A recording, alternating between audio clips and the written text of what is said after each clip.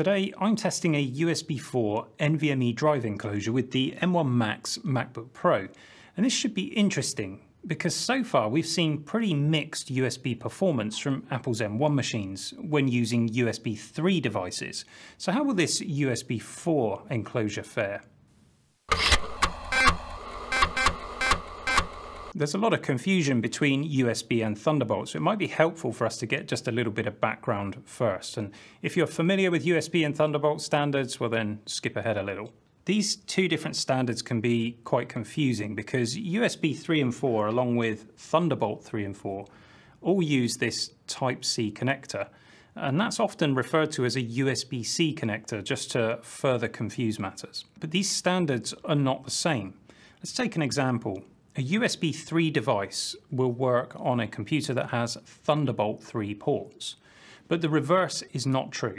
You can't plug a Thunderbolt 3 device into a computer that only has USB 3. And this is where USB 4 comes in, because it actually incorporates Thunderbolt 3 as part of its standard. So USB 4 and Thunderbolt 3 are to some extent interchangeable, and you get that faster bandwidth that Thunderbolt offers of 40 gigabits per second. Now remember that's USB 4 incorporates Thunderbolt 3. Sometimes USB 4 and Thunderbolt 4 are confused with each other. Uh, but Thunderbolt 4 is actually a stricter version of Thunderbolt 3. It's got the same speed, 40 gigabits per second, as Thunderbolt 3 has. But there are a number of additional requirements behind the scenes that mean that actually some external devices are likely to be faster over Thunderbolt 4 than they are over Thunderbolt 3. The original M1 machines don't comply with these additional requirements that come under Thunderbolt 4, and that's why the ports are described as USB 4. In contrast though, the M1 Pro and M1 Max machines do have Thunderbolt 4 compatibility. In previous tests, we've shown that the original M1 machines lag considerably behind Intel machines, that's Intel Macs and PCs, when it comes to USB 3 speeds for external drives. The M1 Pro and M1 Max machines, however, have got better USB 3 performance, although it's still not as good as you'll find on equivalent PCs and Intel Macs. So this is why I'm interested to see whether a USB 4 drive will offer decent performance. What can we expect? Uh, the original M1 Macs, well, they have USB 4 ports, and these new Macs, well, they have Thunderbolt 4 ports. So we should be able to get maximum performance from this enclosure. Orico sent this one over for me to test without any charge, uh, but as always, I only accept it on the basis that I'm free to give an honest opinion and I retain full editorial control. Now, this is the M2 V01-C4 model, catchy name, finished in this nice uh, blue-grey aluminium. And it claims full support for USB 4 with that 40 gigabit transmission rate. Orico say that it should deliver sequential read performance of 2700 megabytes per second and sequential write performance at 1400, uh, though that of course will depend on the drive that you choose to put inside the enclosure. Now in the box we get the enclosure itself, a Type A to Type C USB 3 cable, a Type C to Type C USB 4 cable, an M.2 retaining screw, a Torx driver, some manuals, and a thermal pad. The enclosure is opened by removing one Torx screw, which is quite stiff. Uh, but once open, we can install an M.2 NVMe drive. And I'm using this Western Digital Black SN750 500GB model. Uh, we simply secure the SSD with the retaining screw using the same Torx T5 screwdriver. The thermal pad sticks to the SSD and provides conductivity to the enclosure, which has got this nice sort of heatsink design on it. And that's because SSDs get hot really quickly, especially when they're running at full speed. And once they get hot, they will start to throttle their speed. Uh, this enclosure is made out of solid metal, and it feels of an appropriate size that it should be able to keep those temperatures under control. Uh, but there's no denying that it will get warm in use. Uh, the quality looks good, and at one end we've got the Type-C port and an activity LED. The supplied cable is quite short, but of course you can use any Thunderbolt 3, Thunderbolt 4 or USB 4 cable with it.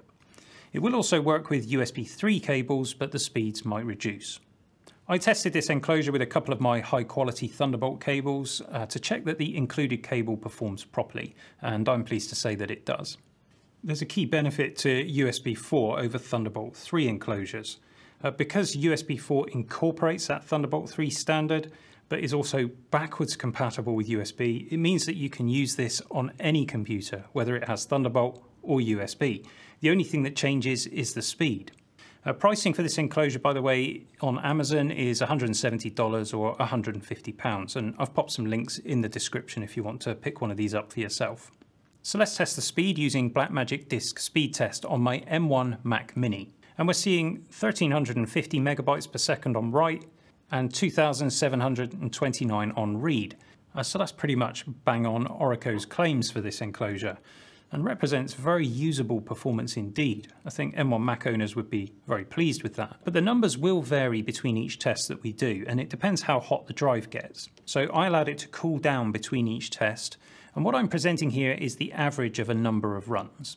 And remember, my focus in this video is on the maximum performance of the ports, uh, those on the Mac and the one on this enclosure. The actual speed of the device will depend on the SSD that you choose to put inside. So I'm not going to do any deep dive testing in this video.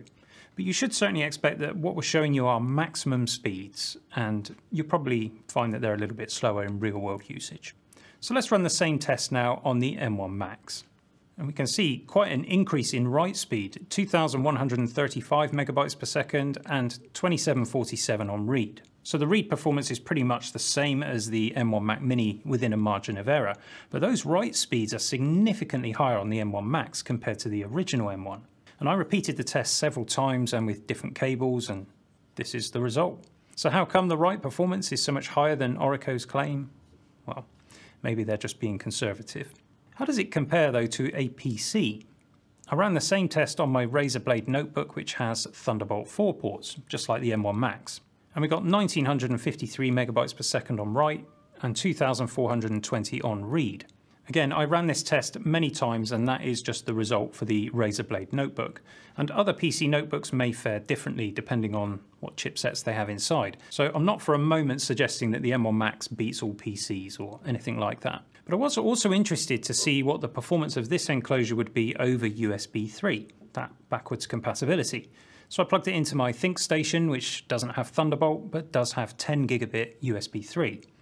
Uh, performance is much as expected at 873 megabytes per second on write and 915 on read. And obviously that's a lot slower than the USB 4 performance, but isn't it great to have that backwards compatibility? And you'll also be able to connect it via a Type A USB port with that second included cable, allowing you to run the drive on 5 gigabit USB and even older machines. I was also keen to see what would happen if I connected this drive via a dock. In this example, I'm using the Razer Thunderbolt 4 dock with my M1 Max, and we run the same test and we get 1608 megabytes per second on write, 2746 on read. So the dock isn't affecting read performance, but it is slowing down the write performance although in this case it's still faster than the M1 Mac Mini managed. And honestly, in real world usage, would you even be able to tell the difference? So the new M1 Pro and M1 Max machines continue to impress, and they do represent a genuine step up over the standard M1 when it comes to connectivity. It's been frustrating to see my USB SSDs run slower on these new machines than they do on my PCs and Intel Macs, so these results are a welcome change. Uh, USB 4 will become more common and prices will come down. And that's good news if your workflow involves external drives like these. Of course, Thunderbolt enclosures have always been available, but sometimes you need to share files with a machine that doesn't have Thunderbolt. And that's where USB 4 really fills the gap. When it comes to external drive enclosures, this Orico unit has really impressed me during the time I've been using it. It's got a genuinely nice build quality, it's a good size, and it appears to work better than advertised. So it gets a thumbs up from me. And hopefully this video has been useful enough to earn a thumbs up from you. Don't forget also to optimize your YouTube algorithm by hitting the subscribe button. And I'll see you soon for some more geekery.